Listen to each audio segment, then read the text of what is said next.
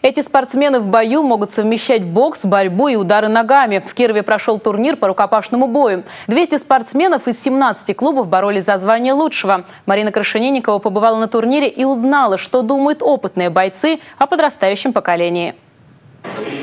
На турнире по рукопашному бою Кубок Братства Краповых Беретов выступают спортсмены от 12 до 20 лет. Если для кого-то этот старт один из первых, то есть и опытные бойцы. Неджат Яхьяев в спорте 10 лет и знает всех соперников. На этом турнире дошел до финала и уступил лишь там своему одноклубнику. По словам Неджада, в зале много перспективных атлетов. Молодцы ребята, растут, я наблюдаю, смотрю.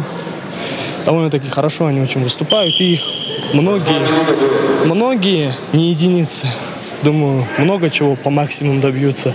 Если, конечно, продолжат и будут отнестись к этому очень ответственно.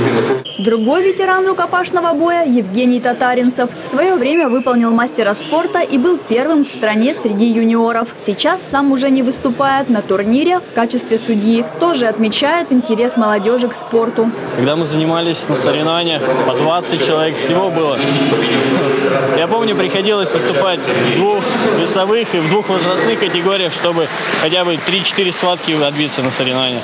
Сейчас в каждой весовой по 15-20 человек.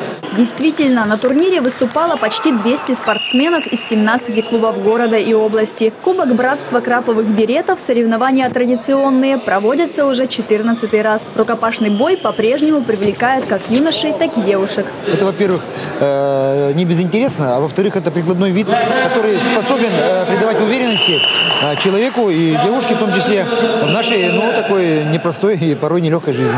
По итогам турнира выявили лидеров в личном и командном зачете. Так лучшими среди клубов стали спортсмены Налинского легиона. Второе место у суворовцев из поселка Восточный, а бойцы Риска стали третьими. Также организаторы отметили спортсмена из Орлова. Совсем недавно Владислав Фокин стал бронзовым призером первенства России по рукопашному бою. Марина Крашенинникова, Алексей Юферев, Бюро новостей Давича.